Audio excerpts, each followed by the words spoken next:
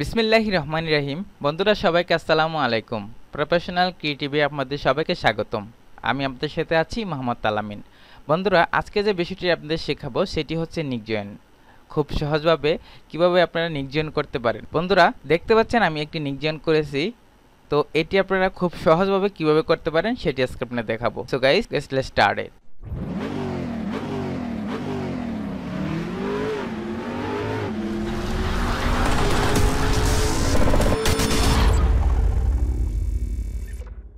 বন্ধুরা দেখতে পাচ্ছেন আমার ডেস্কটপে দুইটা ইমেজ আছে। একটি হলে নিক, আরেকটা হলে আপনার ইমেজ আমি দুইটা ইমেজই আমার ফটোশপ ওপেন করলাম।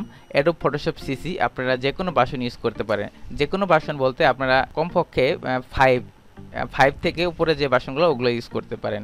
ফাইভের নিচে যে বাসনগুলো আছে, ওগুলাতে আপনার নিকজন ভালোভাবে করতে পারবেন না। সো গাইস এখানে দেখতে পাচ্ছেন যে ইমেজটা এটি হচ্ছে নিক এই নিক দিয়ে আমরা কীভাবে নিক জয়েনটা করব?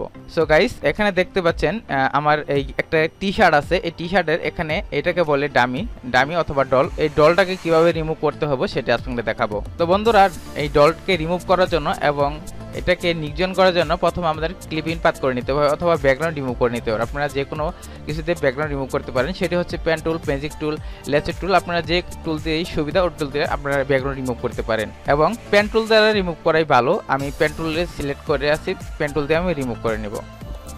তো বন্ধুরা, আরেকটি বিষয় দেখা যাচ্ছে যে যে টি শার্টটি আমি নিয়েছি, সেটি দেখেন এখানে কিছু কার্ভস আছে, আঁকা বাঁকা আছে। সো এটাকে একটু সোজা করে তারপর আমরা নিক জয়েন্টটা করব। সোজা করার জন্য আমাদের লিকুফাই করতে হবে। লিকুফাইয়ের জন্য কিবোর্ড থেকে কন্ট্রোল শিফট এক্স চাপবেন।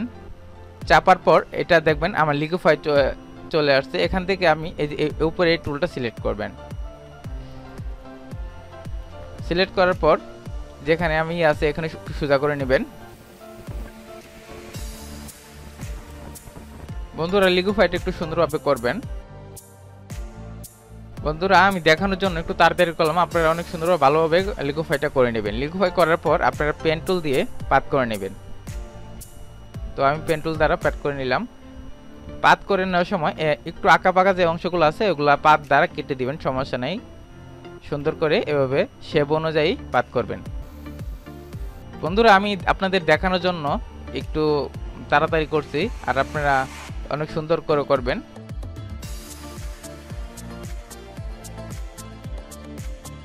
বন্ধুরা, আমার পাত করা শেষ। পাত করার পর আমি সিলেকশন করলাম। সিলেকশন করার পর পয়েন্ট ফাইভ ফেদার দিবেন। এর জন্য অল্টার কন্ট্রোল ডি অথবা শিফট এফ সিক্স এখানে ফেদার আছে পয়েন্ট ফাইভ ফেদার দিবেন। ফেদার দিয়ে কন্ট্রোল জে দ্বারা একটা লেয়ার উঠাবেন। তারপর ব্যাকগ্রাউন্ড লেয়ার সিলেক্ট রেখে এখান থেকে সলিড কালার নেবেন।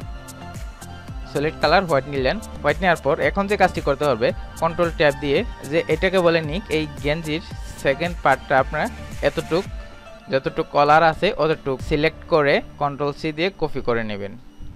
কপি করে এখানে পেস্ট করবেন। পেস্ট করার পর কন্ট্রোল টি দিয়ে উপরে তুলে নেবেন এবং সুন্দরভাবে বসিয়ে নেবেন। বন্ধুরা, এখানে এই নিক পার্টটাও একটু লুকিফাই করে উপরে তুলে দিবেন, তাহলে আপনার দেখতে সুন্দর হবে। সোজা করে দিবেন। ওকে। বন্ধুরা, এমনভাবে করবেন যে এখানে যে লেভেলটা আছে লেভেলটা যেন আমাদের এই ইমেজটার মিডিলে থাকে। এটা আপনাদের খেয়াল করতে হবে। তারপর, সোজা করার পর একটু বাইরে রাখবেন। এভাবে বাইরে রাখার পরে রাইট বাটন ক্লিক করে ওয়াপে চলে যাবেন। এখানে ক্লিক করবেন। তারপর ক্লিক করার পর দেখেন এরকম বক্স বক্স আসবে। এখান থেকে উপরে, এখান থেকে অল্টার ধরে সুন্দর করে এখানে বসিয়ে দিবেন। বন্ধুরা, তারপর ইন্টার প্রেস করবেন। এখন যে দেখতে পাচ্ছেন, আমার এই পাতটি আছে, এই পাতটি এখানে কেটে তারপর উপর দিয়ে আরেকটা সুন্দর করে ইমেজ বরাবর একটা পাত করে নেবেন, সুন্দর করে।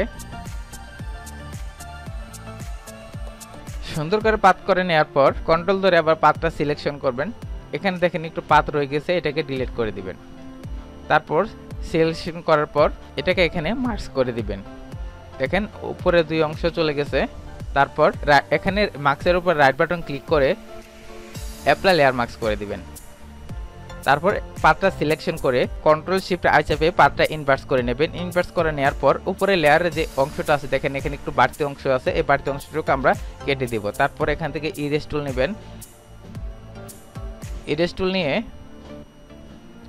এই বাড়তি অংশটুক মুছে দিবেন।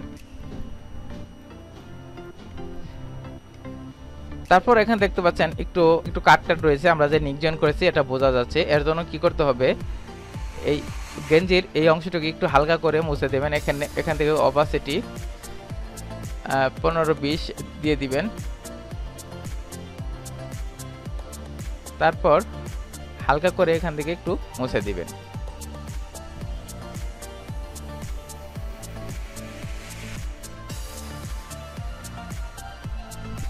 বন্ধুরা নিকজনটা আরও ন্যাচারালি করতে আপনাকে শ্যাডো দিতে হবে। শ্যাডো দেওয়ার জন্য এখানে দেখতেন লেয়ার টু এখানে সিলেক্ট করে একটি ব্ল্যাঙ্ক লেয়ার নেবেন। ব্ল্যাঙ্ক লেয়ার নেওয়ার পর পাতটা সিলেকশন করবেন। সিলেকশন করার পর ব্রাশ টুল সিলেক্ট করবেন। ব্রাশ টুল সিলেক্ট করে হার্ডনেস জিরো দিবেন। জিরো দেওয়ার পর এখানে ব্ল্যাক কালার দিবেন। ব্ল্যাক কালার দিয়ে সুন্দর করে এভাবে টান দিবেন। টান দেওয়ার পর কন্ট্রোল ডি দ্বারা পাত্রা ডি সিলেক্ট করবেন। তারপর কন্ট্রোল চেপে যেটাকে আমরা শ্যাডো দিলাম, ওই শ্যাডোর উপর ক্লিক করবেন মাউস দ্বারা। ক্লিক করার পর এরকম সিলেকশন হবে, তারপর মার্কস করে দেবেন। দেখতে পাচ্ছেন এখানে একটু শ্যাডো হয়ে গেছে শ্যাডোটা বেশি হয়ে গেছে, তো বেশি ড্রাগ দেখা যাচ্ছে এর জন্য আমি এখান থেকে ওভাসিটি কমাই দেবেন। এখানে ওভাসিটি দিবেন টোয়েন্টি অথবা টোয়েন্টি ফাইভ থার্টি আমি থার্টি দিলাম। থার্টি একটু বেশি মনে হচ্ছে এর জন্য আমি কমে টোয়েন্টি ফাইভ দিব।